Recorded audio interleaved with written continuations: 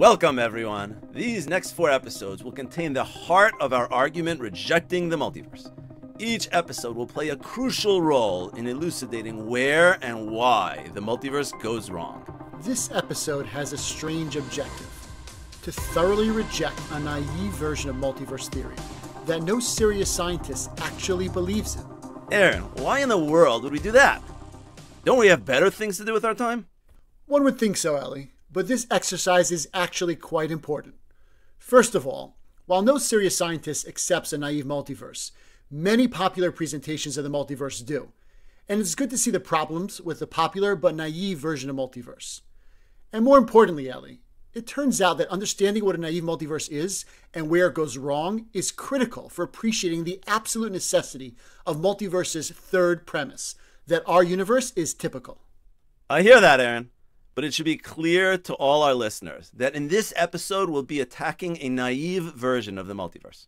While the actual multiverse theory may seem absurd, many leading scientists believe that it's a realistic possibility. The naive multiverse, on the other hand, is so completely ludicrous that no one serious can possibly believe it. At least, I hope not. I also hope not, but we've been surprised before. Either way, this episode is the conceptual turning point of this entire series. We're sure you're going to like it. In the previous episodes, we presented multiverse scientists' strongest supports for their first two premises.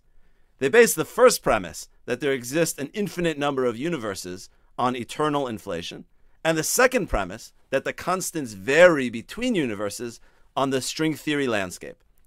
While their supports are far from proofs, we're willing, for the sake of argument, to grant them that theoretical considerations suggest the validity of these two premises. Given these two premises alone, you might naively think that an infinite varied multiverse can solve the problem posed by fine tuning. The reasoning goes something like this Since there are an infinite number of universes, each with different laws, constants, and initial conditions, every possible universe must exist somewhere in the multiverse including a universe that's as fine tuned, designed, and ordered as our own. And of course, we shouldn't be surprised to find ourselves in a universe hospitable to intelligent life, because there simply aren't any observers in universes that aren't hospitable to life. Just so we're all clear on the terminology, a naive multiverse theory, like what we're discussing today, is the attempt to explain fine tuning and design by simply noting that in an infinite varied multiverse, everything possible happens. Again, we call it a naive multiverse if it doesn't also contain the all important typical universe premise that we'll explain in depth next episode. While a naive multiverse is found in popular presentations of the multiverse, it has serious problems. In this episode, we'll elucidate three such problems and show why no serious scientist actually believes in it. The first serious problem that a naive multiverse encounters is that it's a theory of the gaps. This is because by invoking an infinite number of randomly different universes, a naive multiverse is capable of explaining any possible observation we have ever made or ever will make, no matter what our actual universe was to look like incredibly ordered, totally disordered, or anywhere in between. A theory of randomness coupled with infinite number of attempts would provide an explanation. To appreciate this problem, let's review how multiverse relates to fine tuning. As we showed in our first series, fine tuning directly indicates that the constants have an intelligent cause. A naive multiverse theory argues that this implication is misleading because an infinite number of varied universes can also explain fine tuning. That is, in an infinite varied multiverse, at least one universe will happen to have fine tuned constants by pure chance. The problem is that by this exact same logic, an infinite number of universes can explain any gap in knowledge Whenever science reaches a difficult point or makes an observation that scientists can't explain, one can simply reason that in an infinite multiverse, at least one universe will have this previously unexplained occurrence by pure chance. Aaron, it's not fully clear what you mean. Maybe you could give an example of such a gap and show how an infinite multiverse would help explain it. Sure, Ellie. When scientists were trying to find an explanation for the diversity of life on Earth, there was no need for the theory of evolution. They could have just invoked an infinite multiverse, arguing that by chance alone, one universe will contain Earth's diversity of life. By chance alone? How would a universe, by chance alone, have the diversity of life without a natural mechanism like evolution? The justification for multiverse's ability to explain everything is that an infinite variant multiverse truly contains every possible universe. The combination of chance with an infinite number of attempts naturally leads to any configuration of particles you can imagine. An infinite variant multiverse contains totally chaotic universes, highly ordered universes, universes with patterns that we recognize, universes with fire breathing dragons, and everything in between. Fire breathing dragons? Wouldn't fire breathing dragons violate laws of nature? Aren't they impossible? At least that's what I told my kids. Fire breathing dragons aren't impossible, Ellie, but that's beside the point. The point is that anything that could possibly exist will exist. To see why, you need to realize that the fundamental laws of physics don't intrinsically exclude far fetched phenomena, but only state that they are highly improbable.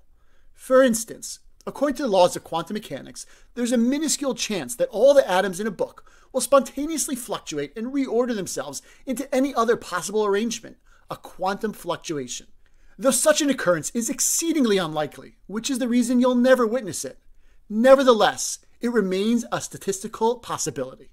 Wait a second, Aaron. Should I go sit my kids down and tell them that dragons are possible because of quantum fluctuations? You know, Ellie, that's a tough decision that you can make later. For now, let's try to stay focused. Okay, fine.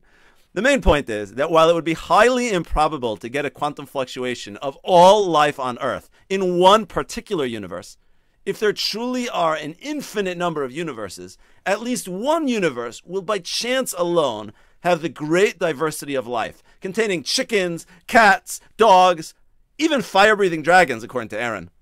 The point is that every possible strange or bizarre occurrence will show up somewhere in the infinite multiverse. In fact, if it shows up once, it will show up an infinite number of times. We're not saying this based on our personal speculations about multiverse theory. It necessarily follows from an infinite number of universes. Many multiverse scientists explicitly state that every imaginable scenario that is physically possible must exist somewhere in an infinite multiverse. For instance, physicist Alan Guth, the originator of the theory of inflation, said as follows In an eternally inflating universe, anything that can happen will happen. In fact, it will happen an infinite number of times. This is a serious problem. Any theory that can be invoked to explain anything at all, in truth, explains nothing at all. A naive multiverse is a wild card theory that can plug any gap in knowledge and solve every single mystery. As such, it's not a theory grounded in knowledge, but a desperate stopgap grounded in ignorance. If the extensive fine tuning, order, and design in our universe can be explained by an infinite variant multiverse, then anything can be explained by this trick. Therefore, a naive multiverse is truly a theory of the gaps. Listen to episode 5 of Series 1 for a more in depth analysis of a theory of the gaps fallacy and why the theory of an intelligent fine tuner doesn't fall prey to this fatal flaw. Okay, Ellie, let's move on to the second problem with the naive multiverse. Sure, Aaron. The second problem that follows from naive multiverse being able to explain anything and everything is that it's intrinsically irrefutable, meaning there's no possible observation that could ever prove it false. The following humorous hypothetical story we've come up with will help illustrate how any evidence that would seem to completely contradict naive multiverse can instead be used to confirm it. It's the year 2050, and the annual International Physics Conference Naive Multiverse is well underway. Everyone is having a grand time discussing their research papers about all the incredible wonders they've imagined, like fire breathing dragons and unicorns, that actually exist somewhere in a parallel universe. When all of a sudden, an amazing, shocking event takes place. An immense voice, apparently coming from the heavens, thunders out the following I am the creator of the heavens and the earth. I perfectly design the laws of nature carefully chose exact values for the constants, and precisely arranged the initial conditions of the universe, all in order to bring about the one beautiful universe in which you are fortunate to live. I set the cosmological constant equal to 10 to the negative 122, because if it were smaller, the universe would have collapsed right after the Big Bang. On the other hand, if it were larger, you know what? You can just listen to the first series of Physics to God podcast for more details. You're really having a good time with this one, Ellie. Aaron, can you please just let me finish the quote? I only created one universe. All multiverse theories are false, unfounded speculations that naive multiverse scientists have posited to avoid the manifest indications of my existence. As I will not appear to every generation of physicists, make sure to transmit this important message to your descendants to prevent them from wasting their time and energy pursuing a non existent multiverse, and to instead investigate the great wisdom and intelligence found throughout my one universe. Now, one would think that this would be the ultimate proof in favor of an intelligent fine tuner and a complete falsification of the multiverse. But that's not how the story goes. Let's continue. At first, all the naive multiverse theorists are filled with shock and despair. All the hours they wasted writing papers about fire breathing dragons and unicorns have been wasted. Maybe they were wrong about an intelligent fine tuner being impossible all along. But then, one extremely clever young physicist emerges from the shadows, clears his throat, and begins to speak. My fellow naive multiverse theorists, let us not be moved by our emotions and overwhelmed by the strange sound wave from the sky. It is time to think clearly and coherently. Quantum mechanics shows that although the occurrence of that sound wave from a random fluctuation is highly improbable, it is certainly possible. Is it really any more unlikely than fire breathing dragons? Granted, it would be quite puzzling for it to occur if there was only one universe. However, since we know there exists an infinite varied multiverse, this sound wave must occur by chance alone in at least one universe in the multiverse. Though we would never predict it in advance, our empirical observations tell us that we happen to be in such a rare universe. Come to think of it, not only is it not evidence for an intelligent cause, but since we all know that God is impossible, this highly improbable sound wave is the clearest proof of all that we exist in but one universe in an infinite multiverse. This sort of far fetched explanation is a direct consequence of naive multiverse. Random chance and an infinite number of universes can explain absolutely anything, including observations that should fully refute the theory. There is literally no observation or evidence that could disprove a naive multiverse. It's intrinsically irrefutable, in that any apparent contradictory evidence can be dismissed by saying it has to occur in one universe in the multiverse, and apparently we're in that universe. Being intrinsically irrefutable is worse than merely being practically irrefutable. To appreciate this distinction, consider a practically irrefutable theory like idolatry. The theory claims that bowing down to idols brings a person greater success than not bowing down. Since one can never know what would have happened had the person not bowed down, it is practically irrefutable. It can't make any testable prediction. Nevertheless, if the creator of the heavens and earth produced a voice saying that bowing down to idols will never help a person, but will in fact lead people away from the truth, that would refute idolatry. While the mere possibility of such a voice doesn't make it refutable in a practical sense, at least idolatry can be theoretically disproven by contradictory evidence. Naive multiverse theory is worse than idolatry in this regard. A true believer in a naive multiverse would even reject the voice of the creator of heaven and earth explaining it away using a naive multiverse. There can be no possible contradictory evidence whatsoever. Even in theory, it's an intrinsically irrefutable theory. I want to mention that while our story was tongue in cheek, according to actual multiverse scientists, not just make believe, naive multiverse scientists, that story, including the young physicists, really does occur in an infinite number of universes in the multiverse. As Guth said, in an eternally inflating universe, anything that can happen will happen. In fact, it will happen an infinite number of times. You're right, Aaron. Well, that's a bit of a side point for now. It does highlight the point that while a naive multiverse is completely ludicrous, the actual multiverse theory isn't that much better. But we're getting ahead of ourselves. Right now, we're just talking about a naive multiverse. We'll talk about a complete multiverse and its problems in a later episode. Fair enough, Ellie. Let's move on to the third problem with a naive multiverse. Not only does the naive multiverse's ability to explain everything render it an intrinsically irrefutable theory of the gaps, but it also causes it to undermine itself. While this point is a bit subtle, Aaron, let's try to explain it slowly. Okay, Ellie. A naive multiverse is based upon the infinite multiverse premise and the varied multiverse premise. No scientist would simply posit these premises without any scientific basis whatsoever. Rather, multiverse scientists claim that they emerge from scientifically supported theories like inflation and string theory.